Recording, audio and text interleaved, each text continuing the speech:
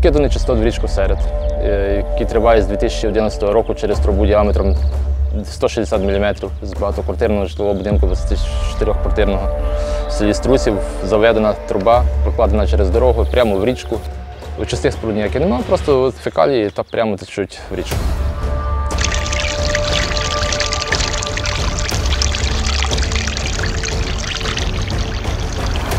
І це все неподобство руками в річку.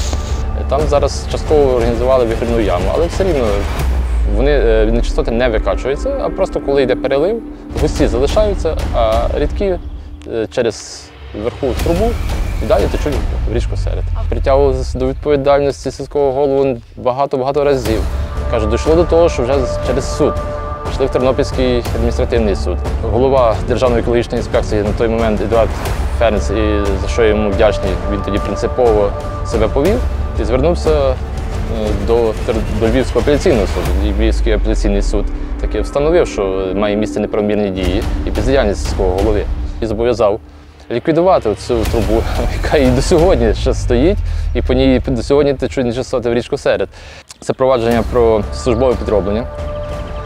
Е, а саме сільський голова на приписи Державної екологічної інспекції надавав неправдиві відповіді. Це встановлено поліцією, встановлено самою Державною екологічною інспекцією.